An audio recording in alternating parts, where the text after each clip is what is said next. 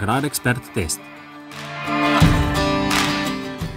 V tem prispevku smo testirali električni štirikolesnik UTV, večnamensko terensko vozilo, ki ga poganja električni motor moči 5 kW pri napetosti 60 V. Energija je shranjena v petih AGM baterijah, luči so v tehniki LED.